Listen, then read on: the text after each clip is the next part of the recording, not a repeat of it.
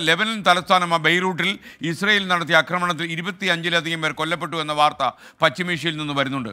ആക്രമണത്തിൽ ഹിസ്ബുള്ള തിരിച്ചടിച്ചു എന്ന വാർത്തയുണ്ട്. ഇസ്രയേലിന് നേരെ ഹിസ്ബുള്ള നിരവധി തവണ റോക്കറ്റ് ആക്രമണം നടത്തിയെന്ന വാർത്തയും വരുന്നുണ്ട്. മധു കൊട്ടാരക്കര അമേരിക്കയിൽ നിന്നും തത്സമയം ചേരുന്നു. മധു ഗുഡ് മോർണിംഗ്. മധു യഥാർത്ഥത്തിൽ യുദ്ധത്തിന് ഒരു അവസാനമില്ല.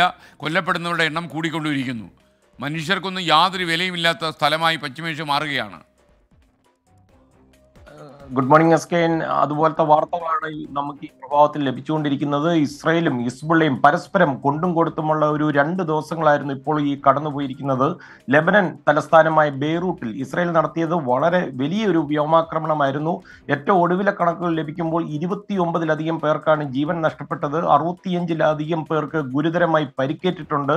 ഇപ്പോഴും ഈ തകർന്ന കെട്ടിടാവശിഷ്ടങ്ങൾക്കിടയിലൊക്കെ മൃതദേഹങ്ങൾ ലെബനൻ ആരോഗ്യ മന്ത്രാലയവും മറ്റ് സന്നദ്ധ പ്രവർത്തകരും ഒക്കെ തിരയുകയാണ് അതുകൊണ്ട് തന്നെ ഈ മരണനിരക്ക് ഇനിയും വരും മണിക്കൂറുകളിൽ ഉയരുവാൻ സാധ്യതയുമുണ്ട്. ഹിസ്ബുള്ള മിലിറ്ററി കമാൻഡറായിരുന്ന മുഹമ്മദ് ഹൈദറിനെ ലക്ഷ്യം വെച്ചായിരുന്നു ഇസ്രയേലിന്റെ ഈ വ്യോമാക്രമണം അവർ പ്രധാനമായിട്ടും നടത്തിയത്. എന്നാൽ ഈ കൊല്ലപ്പെട്ടവരിൽ മുഹമ്മദ് ഹൈദർ ഉൾപ്പെടുന്നില്ല എന്നുള്ള റിപ്പോർട്ടുകളാണ് നമുക്ക് ലഭിക്കുന്നത്. അതേസമയം ഇസ്രയേലിലെ ടെല്ലവീവിൽ ഈ ഇന്നലെ മുഴുവൻ റോക്കറ്റിന്റെ ശബ്ദമായിരുന്നു ഈ ഇസ്രയേൽ ആക്രമണത്തിന് തിരിച്ചടി നൽകിയതായിട്ടാണ് ഹിസ്ബുള്ള കേന്ദ്രങ്ങൾ പറയുന്നത്. ഇരുന്നൂറ്റി അമ്പതിലധികം തവണ ഞായറാഴ്ച മാത്രം ടെല്ലവീവ് ലക്ഷ്യമാക്കി റോക്കറ്റ് ആക്രമണം നടത്തി എന്നാണ് ഹിസ്ബുള്ള അവകാശപ്പെടുന്നത്.